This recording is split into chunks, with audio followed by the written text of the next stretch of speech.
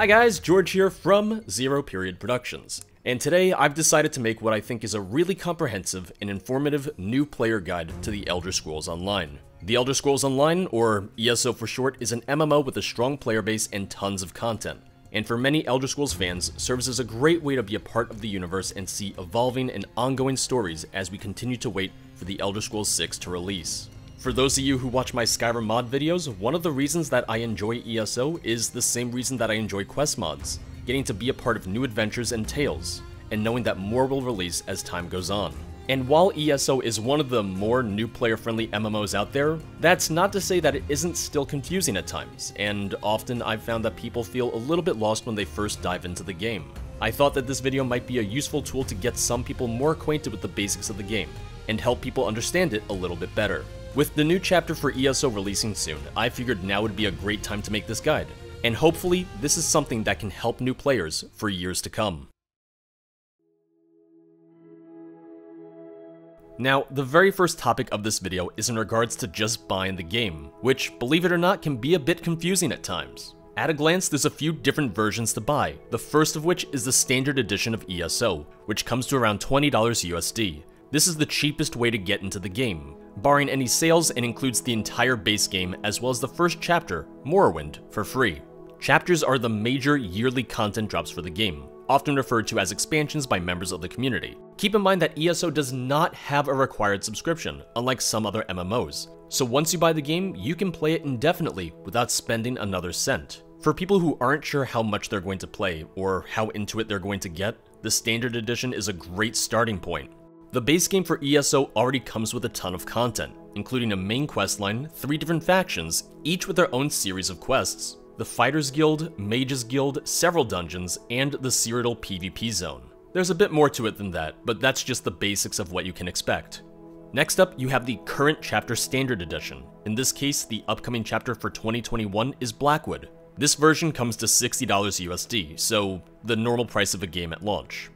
This version comes with the base game, the upcoming chapter, as well as the previous chapters. In this case, that would be Morrowind, Summerset, Elsweyr, and Greymoor. This edition also includes the two DLC character classes, Warden and Necromancer, which would otherwise need to be bought separately in-game. The beauty of this edition is that while you won't be able to play the new chapter until it releases, you will be able to play the base game and previous year's chapters in the meantime, as you will get a code for that content after purchasing this edition.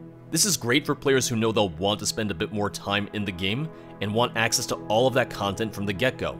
I've had a few friends who owned the base game and maybe one or two other chapters, such as Morrowind or Summerset, but they were ultimately looking to get caught up on everything. In their case, they wound up buying the Chapter Standard Edition, which, if you already own the base game and a couple of the chapters, allows you to simply unlock the ones you're already missing. It's definitely something useful for players who are coming back and are looking to get all the previous chapters in just one go. After this, there's the current chapter digital upgrade. This version, which comes to around $40 USD, is for those who own the base game and are only looking to buy the upcoming chapter itself. You do need the base game in order to play this, so this isn't something you should worry about if you haven't even bought the game yet. This version does not come with the previous year's chapters or the DLC classes, it is simply the standalone version of the newest pack. After this, you just have a couple more options to choose between, namely the collector's editions. The Digital Collector's Edition includes in-game cosmetic bonuses such as emotes and costumes, usually stuff that is more so recommended for dedicated players who see the value in having those items, aka me. For the purpose of this segment, I showed off how everything looks through the official website, but on PC you can also buy these editions through Steam, or if you're on console through the Xbox Store or PlayStation Store. One thing to note is that on PC, should you buy from the official website, you'll launch the game through a standalone launcher, whereas on Steam, you'll launch through that. I personally prefer the standalone version, but ultimately, that's a personal preference. Now, we can move on to making a character. By default, you have 9 races unlocked, with Imperial being a bonus race that you have to buy separately in-game. While this isn't ideal, Imperials aren't in a great place balance-wise, so it's not like you're missing out on a really crucial race. The other 9 races are divided into 3 different factions, the Aldmeri Dominion, which consists of Wood Elves, High Elves, and Khajiit, the Daggerfall Covenant, which consists of Bretons, Redguards, and Orcs, and the Ebonheart Pact, which consists of Nords, Argonians, and Dark Elves. By default, your race will determine what alliance you're part of, which in the end really only matters for PvP. There is a buyable item in the Crown Store that allows you to play any race with any alliance, as well as an option to change the alliance for an existing character. But like I said, your alliance matters for PvP and hasn't impacted PvE gameplay for years. Regardless of your alliance, you'll still be able to travel to any zone in-game, take on any quests, and do each of the alliance quest lines, all on the same character. The base game has four different classes, Nightblade, Dragon Knight, Sorcerer, and Templar. In addition to this, we do have the two DLC classes we mentioned earlier, Warden, which originally came with Morrowind, and Necromancer, which originally came with Elsweyr. Now the real beauty of ESO is that in the end, each class can perform it in each of the three main MMO roles, healer, tank, and DPS, with DPS being broken down even more so into stamina-based DPS and magicka-based DPS. And on top of that, each race can play any of those roles, as any of those classes. There are of course certain combinations that are better, for example, Bretons and High Elves are the best for Magicka, meaning they make good Magicka DPS or healers, but there's nothing to stop you from making your High Elf a tank, or your Breton a stamina-based damage dealer. While some of these combinations might not be optimal and might not be good enough for some endgame content, you'll still be able to make whatever kind of character you want by and large. And if you're just planning on playing alone, doing quests and the like, you don't even have to worry about those traditional MMO roles of tank, healer, and DPS. In the end, ESO can largely be played alone, and you can approach it the same way you might a single player Elder Scrolls game, and just focus on quest content. I did this for years before I even decided to get into group activities, and when I did, it was easy enough to respec my existing character in order to get them ready for group content. So hey, have fun with it. Make a character that you think will be fun to play, rather than immediately worrying about what build you should go for.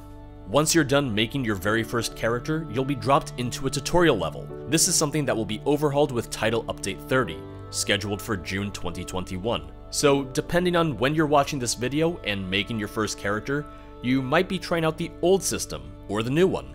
For this video, I'll quickly go over both. Pre-Update 30, your tutorial experience will depend on which version of the game you have, and which chapters you own.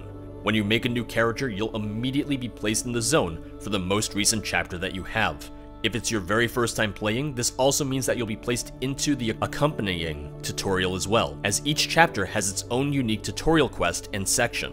To give an example of how this system works, let's say you bought the last chapter to release, Greymoor, in which case you'll start in Western Skyrim, the playable zone for that content. One criticism of this system is that for brand new players who just bought the base game and all the chapters, they're dropped off in the newest chapter zone without any guidance or idea of where they should go. And yes, there are many that want to play specifically the newest content, but even then, it can be confusing for some. For people who buy just the base game, they'll be able to start off in the original starting zones, and have a better semblance of where they should start off. With Update 30, this changes, and the current tutorial quests tied to each of the chapters will be removed from the game.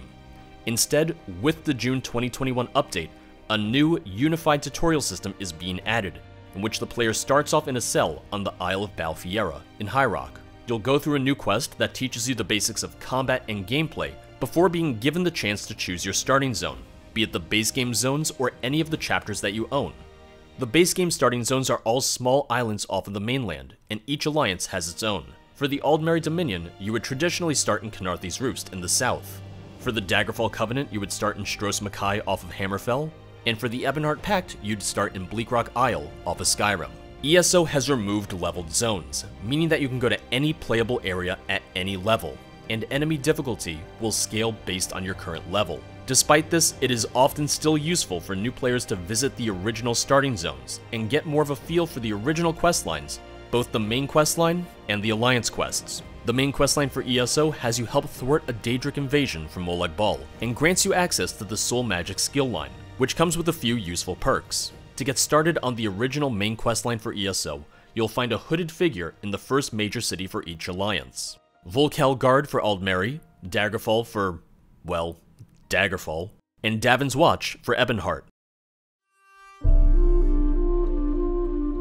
In the Elder Scrolls Online, there are a few different forms of leveling. The first of which, and the most important when you first start off, is your character level, which goes from level 1 to level 50. Like many RPGs, you earn experience through various means, killing enemies, completing quests, etc. Each time you level up, you'll receive attribute points, which can be put into magicka, stamina, or health, as well as skill points, which can be used to choose either active or passive skills for your character. In addition to attribute and skill points, the game has a level reward system.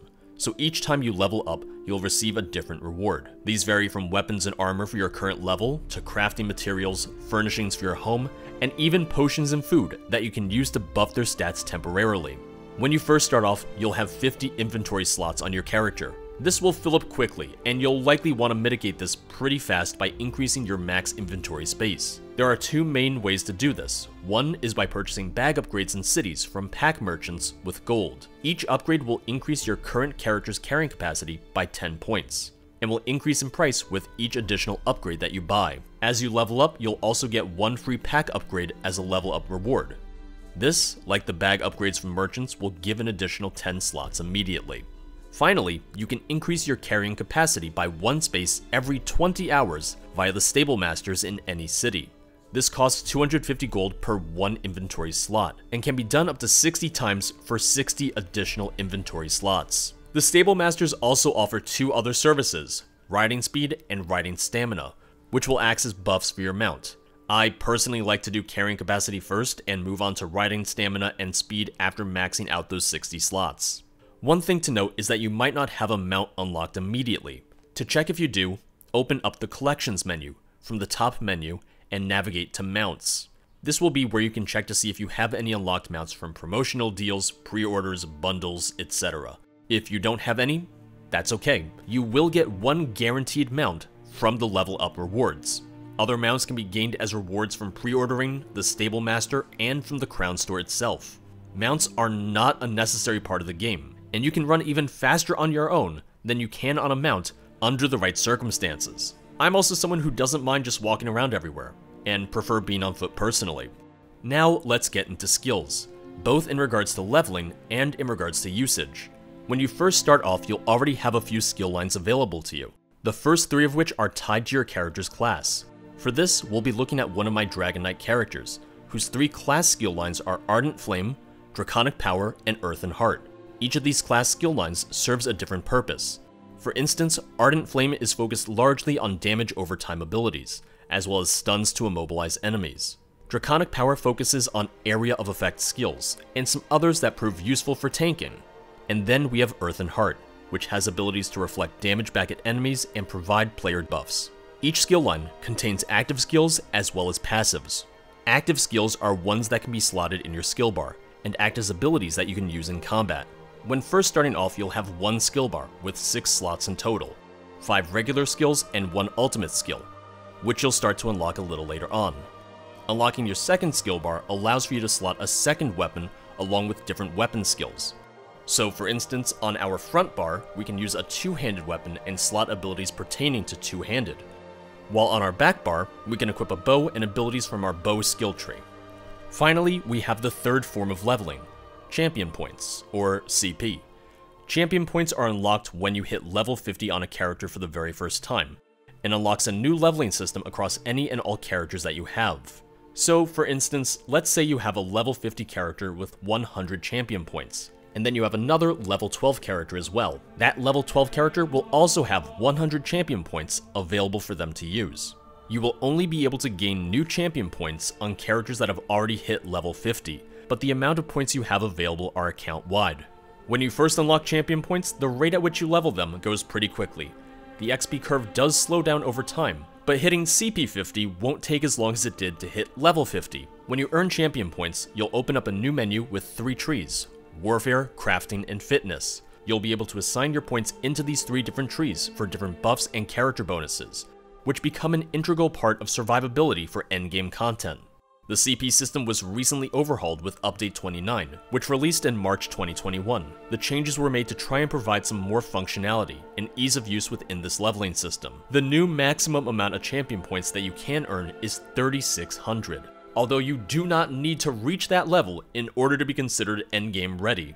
Relatively speaking, all veteran difficulty content should be available to you after you hit champion point 300, and after hitting 1200 or so, you're largely just unlocking small quality of life bonuses for your characters. At the time of recording this, I'm at around CP 1000, and I can hold my own in most content. I'm not in any rush or any grind to hit 3600.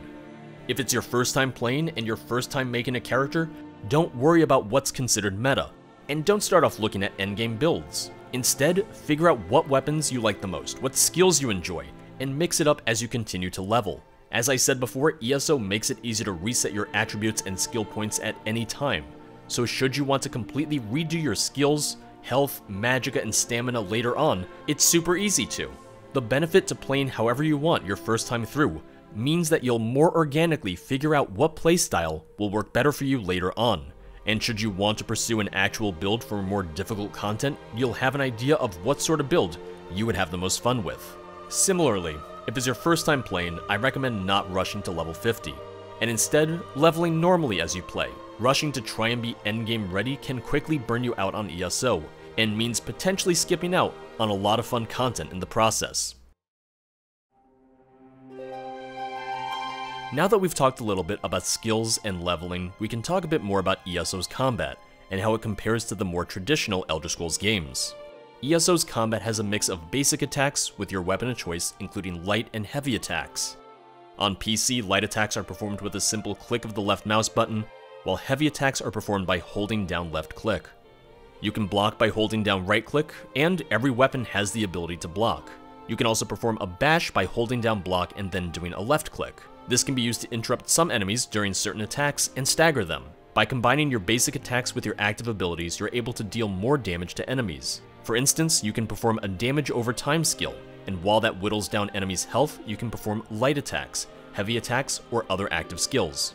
Almost 90% of ESO's content can be done completely solo, the exceptions being group content such as 4-man dungeons and 12-man trials. If you plan on playing solo, and want to simply focus on quest content, you're truly free to choose any weapon you like and any skills that you think will be fun. You might not be the strongest by doing this, but you'll have a lot of freedom to play your own way. My personal recommendation for solo players, as well as more casual players, is to find a good balance of attack skills as well as ones to help with your survivability, such as healing abilities or ones that give temporary buffs to your armor. You're also able to make use of food, which can increase your health, stamina, or magicka for up to a couple hours. Should you find that you're dying too often, using food to increase your HP can prove incredibly helpful. Another useful mechanic for solo players takes the form of companions, which are being added with the Blackwood chapter. Similar to other RPGs and some other MMOs, companions serve as adventuring buddies, who you can spec out to help with damage, healing, or even tanking, to help take some of the focus off of you in fights. I think companions are going to be a great way to help solo players find their footing in the game a little bit more, and make some of the content more accessible as they learn the ins and outs of the game. I also have a full guide for companions available for anyone who's interested in a more detailed look at them. Now, let's say you're more interested in the MMO side of things, and give a basic rundown of that. Some of this will be useful if you're running dungeons as you level up, but it also gives a framework for what to expect and work towards if you're interested in group content past level 50. We previously mentioned the three main MMO roles, DPS, Tank, and Healer. These are the roles that you'll find important in group content, and each one has a different responsibility, set of weapons, and so on. DPS, which stands for damage per second, is broken down into two different types, Stamina and Magicka. Stamina DPS often makes use of both melee weapons as well as a bow. So for instance, my Stamina Warden uses two daggers on their front bar and a bow on their back bar. Stamina DPS traditionally wears medium armor, and puts all, if not almost all, of their attribute points into stamina. Stam DPS is traditionally considered a little bit more difficult to get the hang of compared to Magicka DPS, namely for being able to perform the same amount of damage in a short period of time. Magicka DPS makes use of destruction staves, most builds calling specifically for flame staves on both ability bars. They make use of light armor and put all, if not most, of their attribute points into Magicka. The reason for this, both for Magicka DPS and Stamina DPS, is that part of your overall damage is based upon your maximum Magicka or Stamina stat, meaning that you want it as high as possible for a better damage output. Whether you're Stamina or Magicka, your job as DPS is somewhat straightforward. You want to do the most damage over a short period of time. But you'll also have to focus on different mechanics and group content and help revive fallen players. Next up, we have tanks. Typically seen as the leader of a group, tanks slot heavy armor and put their attributes into a mix of health, magicka, and stamina. As the name might imply, they're built for being able to take a lot of damage, and are meant to have a lot of survivability. Tanks typically make use of a sword and shield on their front bar, and a destruction staff on their back, hence why some attributes are put into Magicka.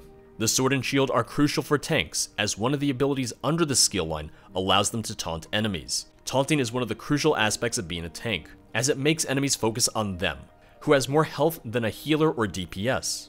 Other skills used by tanks include providing different self buffs to keep their health and damage shields up, as well as some skills that provide bonuses for the rest of the group. Because of their taunt abilities, tanks act as the leader of a group, since they're the ones who should be in the front and be the first to get the enemy's attention. Last but certainly not least, we have healers. Much like Magicka characters, healers wear light armor and put their attribute points into Magicka.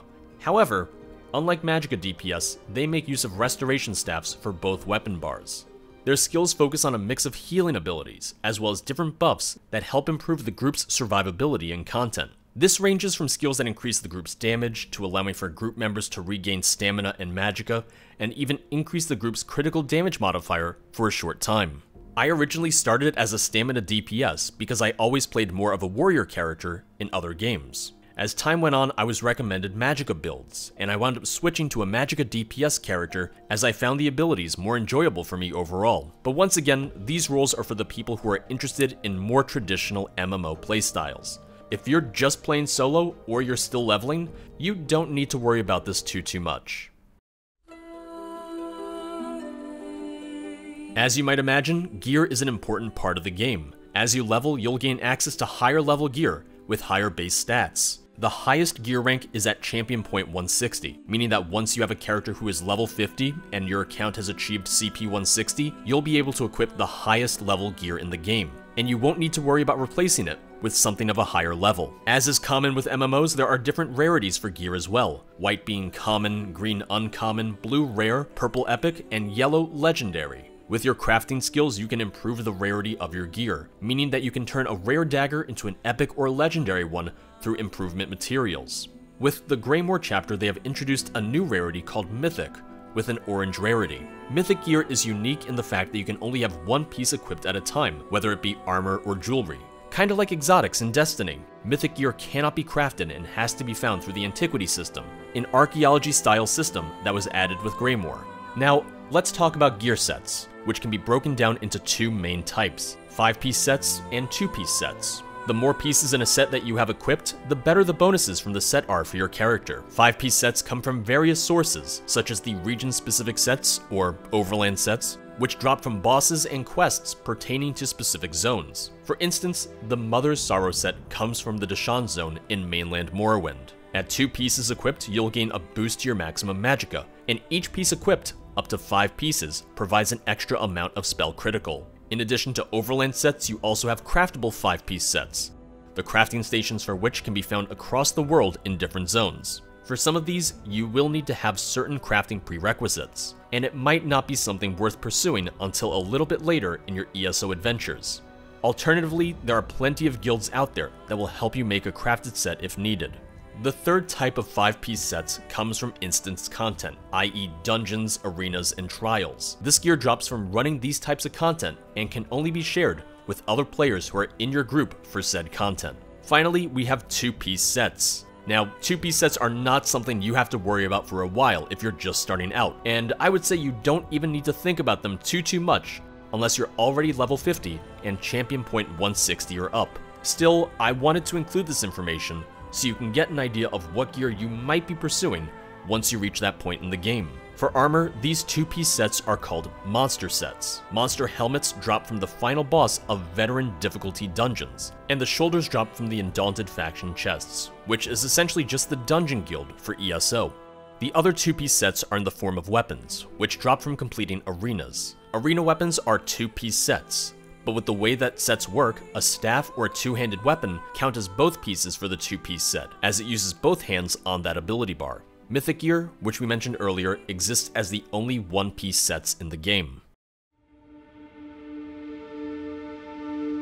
ESO, like any MMO, can be a time sink and a money sink. However, it's ultimately up to you how much you want to spend on the game. Like I said at the start of the video, back when we navigated the rocket science of which version to buy, The base game at $20 has enough content to keep you occupied for a long, long time. But let's say that you are looking for more content to sink your teeth into. Downloadable content in ESO can be broken down into three different categories. Zone DLCs, Dungeon DLCs, and Chapters, often called expansions by players and community members. There's a reason that the devs don't call chapters expansions, even though it's often a term used by players. The reasoning behind it has to do with the connotation of the word expansion, which to many more so implies that it's meant as something for people who already play the game and not really for new players. Because ESO does not have leveled zones and you can complete content in just about any order you want, they felt that chapter might be a better term that better defined the yearly content drop. In an average year, ESO has four content drops, a dungeon pack in Q1,